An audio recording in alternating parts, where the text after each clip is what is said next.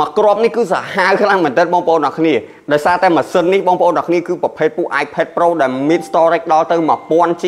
ឬក៏យើងអាចនិយាយបានថា1 TB បងប្អូនអរគ្នា1 TB ឬក៏ 1000G នេះគឺកម្រមែនតើបងប្អូនអរគ្នាគឺយូរយូរយើងជួបម៉ាស៊ីនដែលដែលមានម៉ាស៊ីនដែលដែលមាន storage ធំអញ្ចឹងមួយមួយឯងមូលហេតុគឺដោយសារតែកម្រមានអ្នកដែលគាត់ហ៊ានចាយលុយច្រើនច្រើនដើម្បីយកទៅទិញ iPad អញ្ចឹងណាបងប្អូនអរគ្នាហើយដល់ពេលតែវាមកទឹកអញ្ចេះបងប្អូនអានេះប្រភេទពួក chip M1 ណាពេលដែលវាមកទឹកចេះគឺតម្លៃវាគឺល្អមែនតើ គឺយើងសេវលុយបានច្រើនមែនតើបើយើងប្រៀបធៀបជាមួយនឹងអាវ៉ាន់ដែលថ្មីបងប្អូនអរគ្នាហើយចំពោះអាវ៉ាន់នេះដែរបងប្អូនអរគ្នា condition វាបងប្អូនខ្ញុំឲ្យមើលណា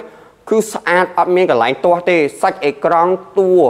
អាវ៉ាន់នេះគឺសំណុំណែនប៉េះអត់មានកន្លែងណាធ្លាប់ជួសជុលឬក៏អាវ៉ាន់នេះអត់មានធ្លាប់ធ្លាក់ឬក៏ធ្លាប់អីទេបងប្អូនអរគ្នាគឺនៅស្អាតខ្ចីញញមែនតើតាមពីសុខភាពថ្ម ថាច់កញ្ចក់អេក្រង់អីគឺនៅល្អទាំងអស់បងប្អូនអរគ្នាអាវ៉ាន់នេះគឺខ្ញុំបញ្ជាក់ម្ដងទៀតគឺស្អាតដូចថ្មីចឹងហើយប្រភេទពួកនេះដែរបងប្អូនអរគ្នាវាមិនមែនមកជាមួយនឹង RAM 8G ដូចប្រភេទពួក iPad ធម្មតាទេ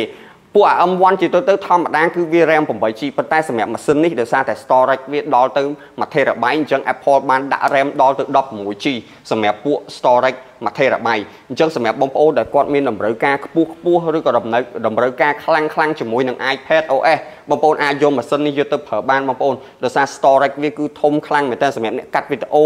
ឬក៏ដាក់ឯកសារ file អីធំធំអីគឺត្រូវហ្មងបងប្អូនអរគ្នាអានេះគឺស្អាតណាបងប្អូនហើយអាវ៉ាន់នេះដែរខ្ញុំបញ្ជាក់ណាបងប្អូនខ្ញុំមានជាមួយនឹងឆ្នាំងសាក់សិនអស់មួយឈុតទៀតបើសិនបងប្អូនយកទៅហើយបើសិនបងប្អូនមានតម្រូវការណាមានចំណាប់អារម្មណ៍ឆាកមកក្នុង Facebook page របស់ពួកខ្ញុំមកតម្លៃធូរថ្លៃមែនតើហើយខ្ញុំបញ្ជាក់ iPad នេះគឺប្រភេទពួក Pro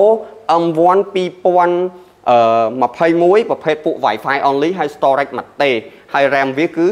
16G អូខេមានតម្រូវការអាចតាក់ទងមកក្នុង page របស់ខ្ញុំមកលឿនលឿនអីវ៉ាន់មានតែមួយគ្រាប់ទេអរគុណអរគុណច្រើន